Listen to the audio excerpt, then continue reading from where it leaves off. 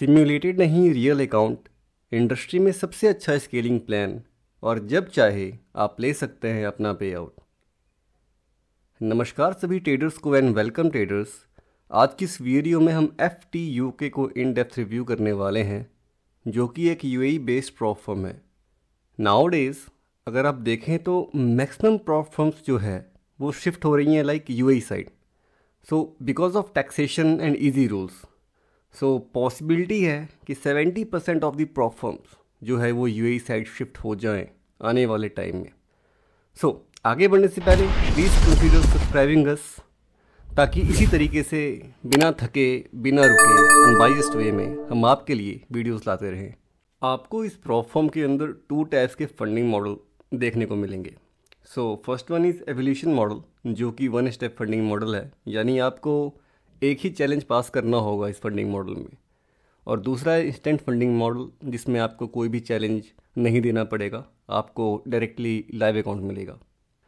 सो so, चलिए सबसे पहले हम डिस्कस करते हैं इनके वन स्टेप एवोल्यूशन मॉडल को जिसमें आपको टेन परसेंट का प्रॉफिट टारगेट मिलेगा। अलॉन्ग विद इट आपको एट परसेंट का मैक्सिमम ड्रॉडाउन मिलेगा जो कि एप्सोल्यूट ड्रॉडाउन होगा। चलिए समझते हैं एप्सोल्यूट ड्रॉडाउन को। जिसे हम स्टैटिक या फिर फिक्स ड्रॉडाउन भी कहते हैं। सो लेट अस एज्यूम कि मेरे पास हंड्रेड के का अकाउंट है। उसमें टेन परसेंट का एप्सोल्यूट ड्रॉडाउन है। तो मेरा स्टॉप आउट लेवल होगा यहाँ पे नाइन्टी थाउज़ेंड का। So now it doesn't matter कि मैं कितना भी प्रॉफिट या लॉस बनाऊँ। मेरा स्टॉप आउट लेवल यहीं पे होगा। ये इस लेवल से ऊपर या नीचे ट्रेल नहीं करेगा। आपको यहाँ पे कोई भी डेली ड्रॉडाउन नहीं मिलेगा। आपको यहाँ पे वन रेस टू हंड्रेड का लीवरेज मिलेगा। अगर हम इनके रिस्क टू रिवार्ड एक्सपेक्टेशन की बात करें तो इनका रिस्क टू रिवार्ड एक्सपेक्टेशन है one raise to one point two five जो कि सबसे कम है इंडस्ट्री में अभी तक। सिमिलरली इंस्टेंट फंडिंग में आपको टेन परसेंट का प्रॉफिट टारगेट मिलेगा और एट परसेंट का मैक्सिमम रोड ऑन मिलेगा with the leverage of one raise two hundred so चाहे आप one step evolution model buy करो या फिर इंस्टेंट फंडिंग मॉडल आपको दोनों में ही सेम स्केलिंग प्लान मिलेगा। इन्होंने अपने स्केलिंग प्लान को एट स्टेप्स में डिवाइड किया हुआ है। चलिए समझते हैं इनके स्केलिंग स्ट्रक्चर को एक एग्जांपल से, जिससे आपको और क्लैरिटी मिल सके।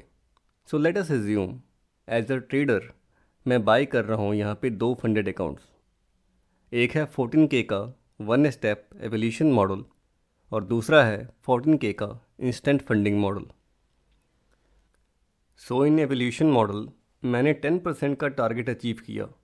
आफ्टर दैट मैं लेवल वन पे आया, जहाँ मुझे थर्टी फाइव हंड्रेड यू का अकाउंट मिलेगा, जिसमें अगेन मुझे टेन परसेंट का प्रॉफिट निकालना पड़ेगा बट मुझे यहाँ पे वन रेस टू टेन का ही लीवरेज मिलेगा।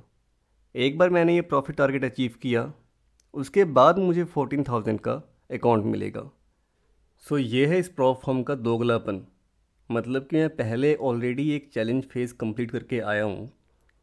अगेन मेरे को ये सेकेंड फ़ेज़ दे रहे हैं मतलब छोटा अकाउंट साइज़ दे रहे हैं और बोल रहे हैं कि टेन परसेंट का प्रॉफिट निकालो। आफ्टर दैट जाके आपको हम, आपके ओरिजिनल अकाउंट साइज़ देंगे जो कि है फोर्टीन के सो ये है लेवल टू जहाँ पे मेरे को फोर्टीन के का अकाउंट मिल चुका है और अब मेरे को यहाँ पे टेन परसेंट का प्रॉफिट निकालना है। एक बार जब मैं यहाँ पे टेन परसेंट का प्रॉफिट निकाल लूँगा उसके बाद जाके मेरे अकाउंट साइज़ को फिर डबल कर दिया जाएगा जो कि एक अच्छी बात है। सो so, अभी तक इसकी दो बातें हैं। एक है अच्छी बात यानी कि इनका स्केलिंग प्लान सो इनका स्केलिंग प्लान अच्छा है मतलब कि ये हर एक टेन परसेंट पे आपके अकाउंट साइज़ को डबल कर देंगे। और दूसरी है इसकी बुरी बात जो कि है कि आप चैलेंज फ़ेज़ कंप्लीट करने के बाद आपको छोटा अकाउंट साइज़ मिलेगा एंड अगेन आपको उसके ऊपर टेन परसेंट का प्रॉफिट निकालना पड़ेगा। सो so, अगर आपके अंदर इतना पेशेंस है देन गो अहेड आप ले सकते हैं। और अगर आपके पास पेशेंस नहीं है इतना तो आप किसी और प्रॉफर्म को देख सकते हैं। Similarly in the instant funding account मुझे कोई चैलेंज फेस फेस नहीं करना पड़ेगा। मुझे directly thirty five hundred U का अकाउंट साइज़ मिलेगा। और एवोल्यूशन मॉडल की तरह ही यहाँ पे स्केल अप होगा। दोनों ही फंडिंग मॉडल्स में स्टॉप लॉस प्लेस करना कंपलसरी है। साथ ही साथ, दोनों ही फंडिंग मॉडल्स में आपको 80 परसेंट का पे आउट मिलेगा। These are the following account options you get.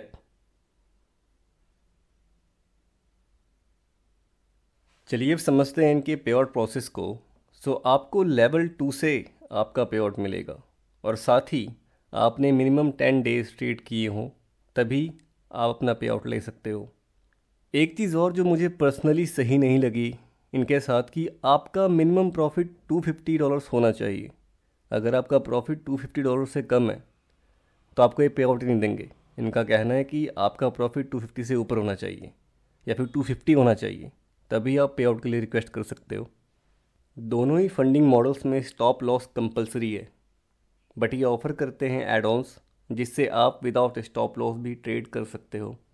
चलिए समझते हैं इनके एड ऑन्स को। सो ये हमें फोर टाइप्स के एड ऑन्स प्रोवाइड करवाते हैं।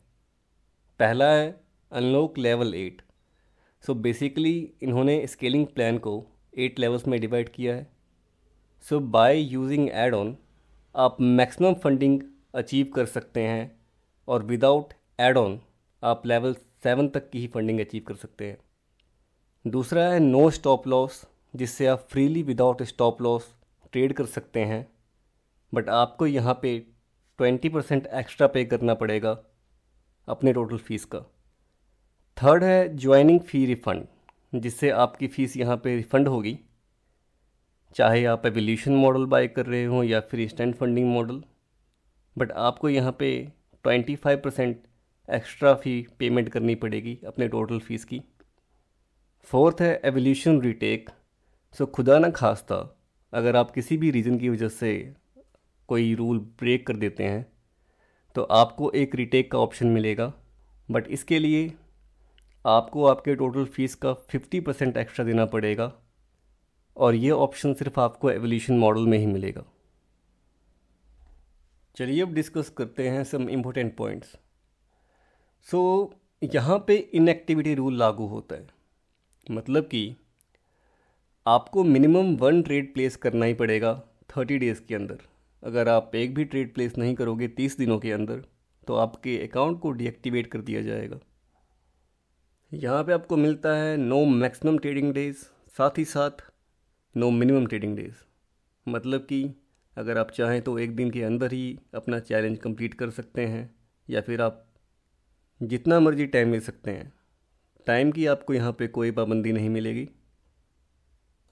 इनका ब्रोकर है एट कैप जिनका कमीशन है फोर डॉलर्स पर लॉट आप अपने ट्रेड्स को ओवरनाइट और वीकेंड्स में होल्ड रख सकते हैं।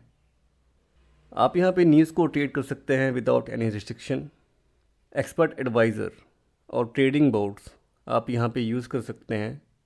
बट ध्यान रहे कि tick scalping martingale trace trading यहाँ पे अलाउड नहीं है.